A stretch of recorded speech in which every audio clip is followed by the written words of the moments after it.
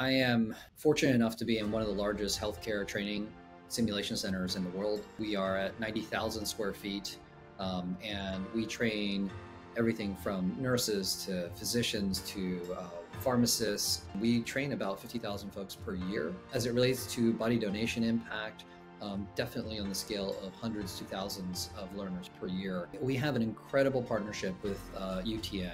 Body donations are still incredibly critical to training and education.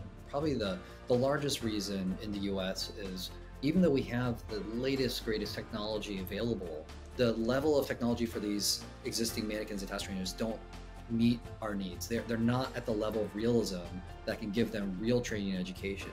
And so instead of having a medical student or a surgery resident do their first case or uh, suture in the operating room on a real patient, now we're able to use um, both body donation, cadavers for uh, practice and training, and so that when they're in the operating room, they're not causing errors. They're, they're keeping the patient safe and they're doing the best they can uh, for their procedures. And, and that's really how uh, things have tra- tra- transformed over the last 20 years. And, and so we're very fortunate to be working with UTN.